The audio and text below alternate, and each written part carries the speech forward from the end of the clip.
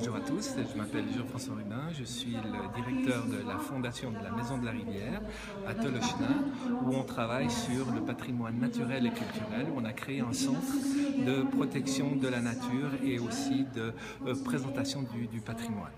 Trois bonnes raisons de voter pour vous. Alors il y a une raison environnementale déjà, puisqu'on fait de la protection de la nature. Il y a une raison sociale aussi, puisqu'on reçoit énormément de classes, d'enfants de tous âges, des adultes et même des aînés. Et on a une raison aussi économique, puisqu'on crée des emplois. Donc on fait du vrai développement durable. Alors si c'est pas vous et qu'on doit voter pour quelqu'un d'autre, vous voteriez pour qui? Moi, je pense qu'il y a beaucoup de personnalités tout à fait remarquables autour de, cette compétition. Et puis, euh, je vois beaucoup de gens qui auraient aussi plein de choses à faire avec nous. Donc, je serais bien en peine de savoir pour qui voter. Allez, bon courage, bonne chance et euh, peut-être que ce sera vous. Alors, on vous le souhaite. Merci beaucoup. Merci.